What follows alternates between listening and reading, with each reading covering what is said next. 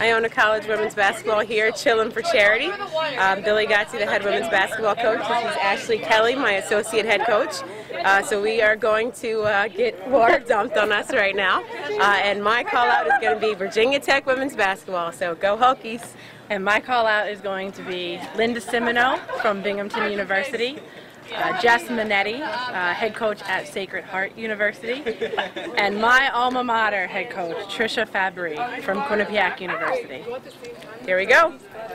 Two, one. Yeah! yeah!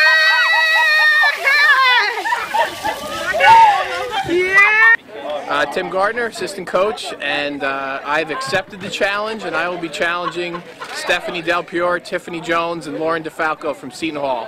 I am Liz Lear. I've accepted the challenge, and I am challenging uh, Megan Gebbia from American University, Lisa Strack from Virginia Tech, and Belle Koclanes from Dartmouth.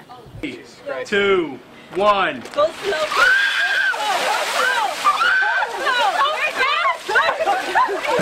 I'm Haley D'Angelo, Director of Basketball Operations for Iona College. I'm Mike Ritz, the Assistant Director of Basketball Operations for Iona College. I'm calling out Susie Fregosi at Dowling. I'm calling out Rennie Griff and the St. Peter's staff. And I'm calling out Jean Kennedy at UCal. And I'm calling out Matt Corkery, Jill Glessner, and JoJo Smith. Oh!